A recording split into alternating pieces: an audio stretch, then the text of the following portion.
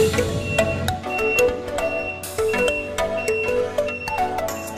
po yung barko namin na sinasakyan ngayon, kaibigan. Ito kami ng Bacolod. Tinitour ko lang kayo mga kaibigan sa Port of Dumangas.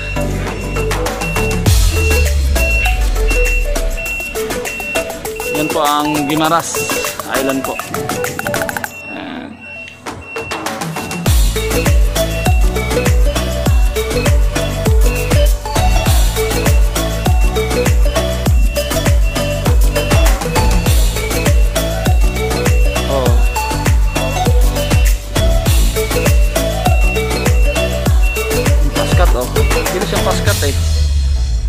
Lang may takbo nila yan eh.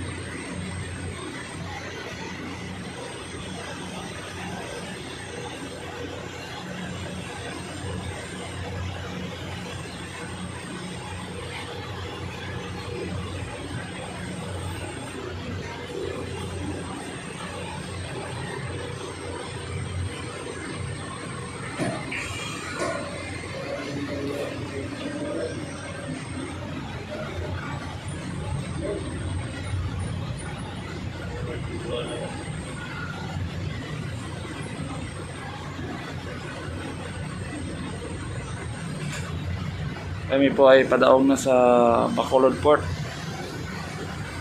Ayan po. Kita ninyo, ah, malapit kami sa pantalan ng ah, Bacolod City.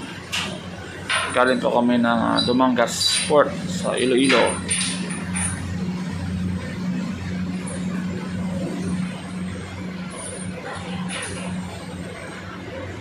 Yan pa yung mga barko na bumabiyahe ng uh, Bacolod to Dumangas, Dumangas to Bacolod. Montenegro Lines and uh, TriStar. Ito pa yung mga barko na bumabiyahe po dito.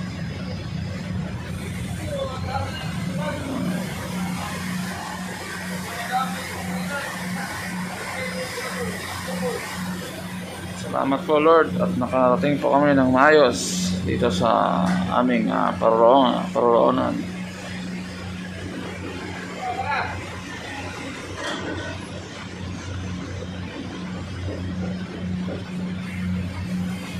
Yan yung sinakyan namin na barko nung makarang araw. Tapos ito naman po yung sinakyan, sinakyan namin ngayon.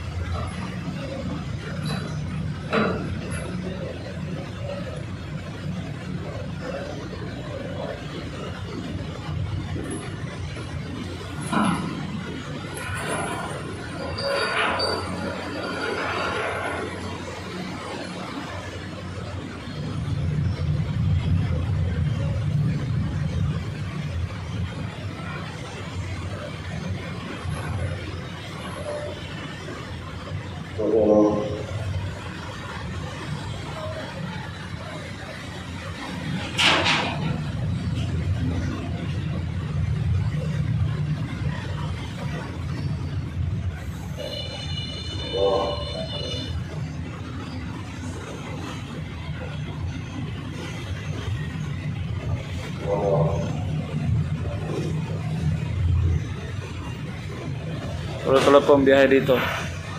Punta nga Iloilo. Sa Bacolod. Ganon din po sa Dumangas. Uh, sa mga gustong bumiyahe dyan, ayun po. Yeah.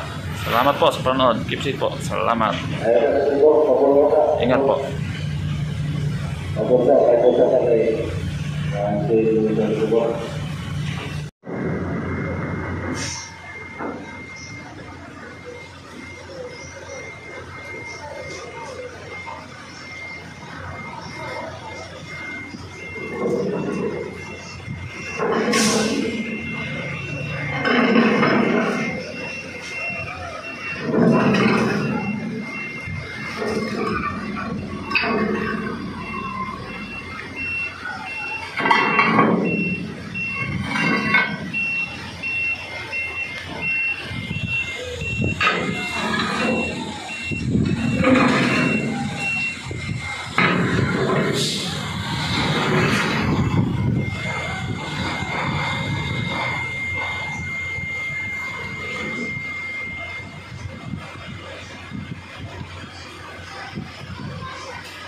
Nasa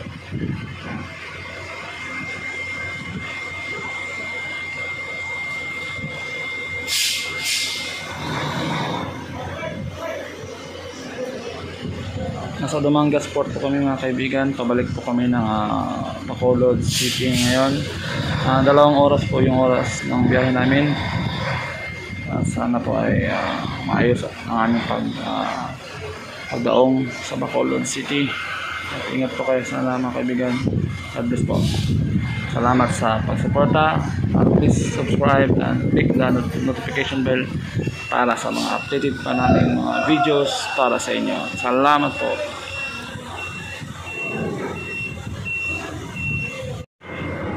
Mga kaibigan, ayan po.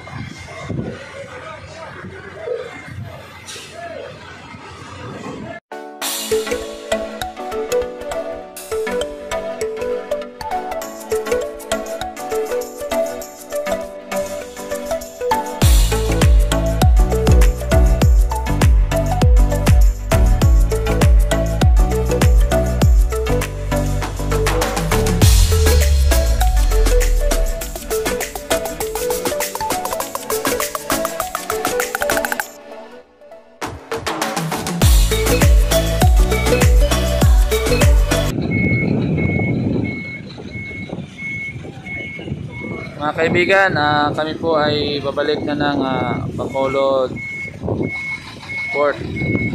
Kami ngayon ay nasa Lumangas Port sa Iloilo. Yan po, ito po ang aming sasakyan na barko. Una lang po yung mga malalaking mga truck. Yan. Mayroon pa pong ah, paskat dito, hindi na po kami nakaabot sa paskat dahil fully book na po yung sasakyan. Pero yung passenger, available pa po. So meron po kami sa dala kaya dito po kami sa TriStar sasakay. Medyo mas mabilis po ang paskat sa biyahe. Ang TriStar po ito po. Ang aming sakyan na barko.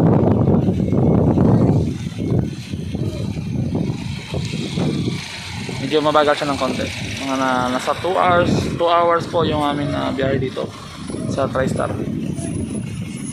Uh, ingat po mga kaibigan. Medyo masama ang panahon. Keep safe po palagi. Salamat. God bless. Dumangas Port sa Iloilo po. Yan, kami po ay pabalik na ng uh, Cebu. Pero dadaan pa po kami ng uh, Bacolod kaya kami ay nagdumanggas po. Wala pong ah, direct dito na barko. Papuntang ah, Cebu. Papunta lang po mga barko dito ng ah, Bacolod. Pero may Cebu dito pero hindi ko po alam kung dito sa Dumangas. Ah, merong Cebu at ang alam ko sa Iloilo mismo. Iloilo City. Ito kasi hindi na po part ng Iloilo City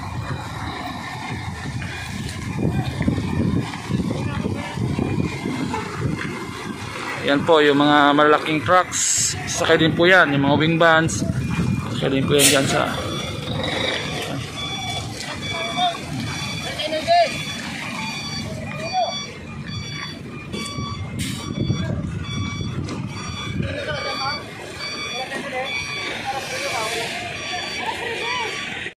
Yan mga kaibigan, nasa Dumangas Port po kami ngayon.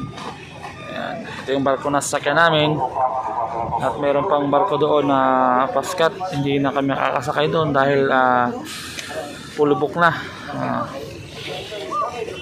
naghahabol lang kami ng oras kasi masama ang panahon. At sa TriStar po, may biyahe lang po sa TriStar.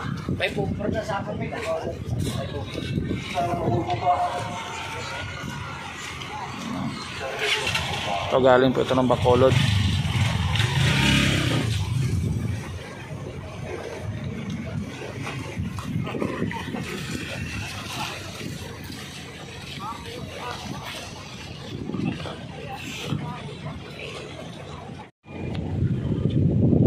Po yung aming sasakyan papuntang Bacolod. Mga kaibigan. Daong na po.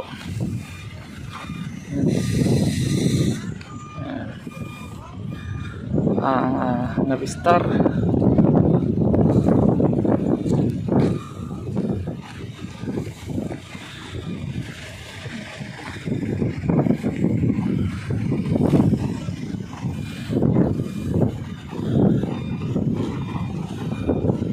Barko pero hindi na kami nakaabot doon sa Paskat na alis.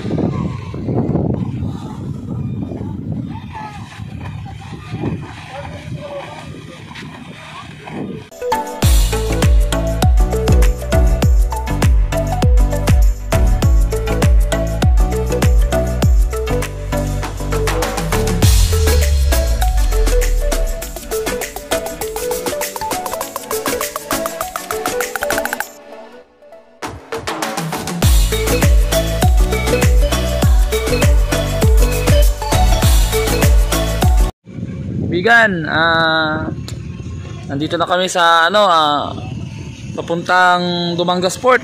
Pabalik na po kami ng ah, Negros.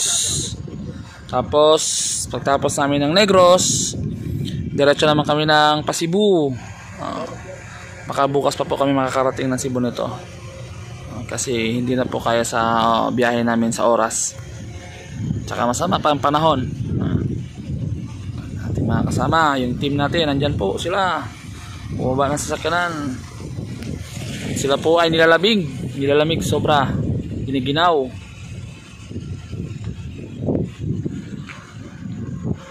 Ito po ay parang ano pa to, ah, fish pond area sa may Dumangas. Makikita niyo ito, pagkapag galing kayo ng Dumangas, sa pier ng Dumangas Port, ah, kanan ito yung makikita ninyo. Oh, yan. Malawak na daanan. Kapag naman kayo ay pupunta ng ah, Iloilo City diretso kayo nung papunta doon.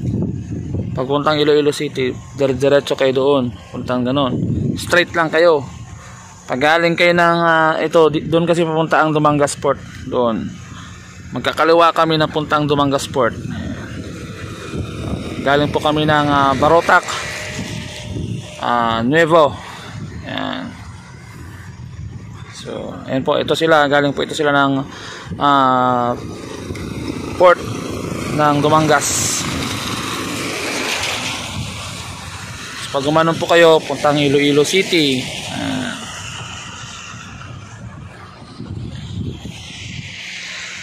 masama pang panahon. Medyo tambay muna kami ng konti para sa updates natin. Ito muna tayo ngayon.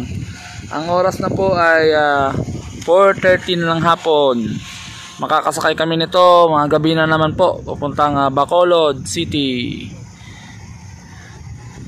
Yung biyahe namin siguro mga 2 hours mula Dumangas Port papuntang ah, Bacolod Port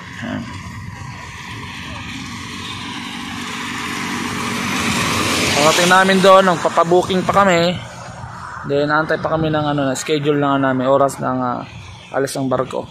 Anong oras kayo makakasampa sa barko. Kaya mga kaibigan, sana masaya kayo sa aming ah, pagbiyahe ah, dito sa region region 6 saka region ah, region 8 Mga kababayan, malapit na po kami sa Ah, Salamat po sa pagpanood ng aming ah, mga videos kung saan kami na pumupunta at saan pa kami pupunta. At uh, naway mabuti kayo dyan sa inyong mga tahanan at ingat po lagi. Peace mga kaibigan. Salamat po. Maraming maraming salamat. Thank you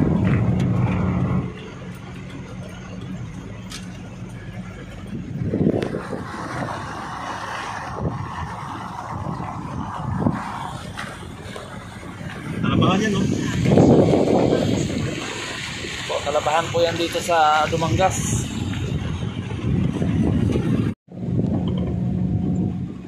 Nasa Port of ano po tayo ngayon, Dumangas.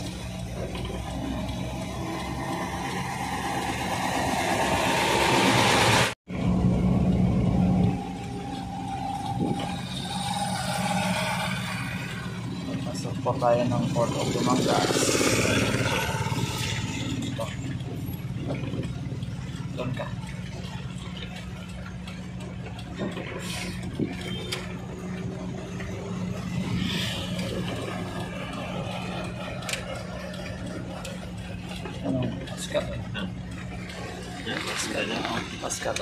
Ano?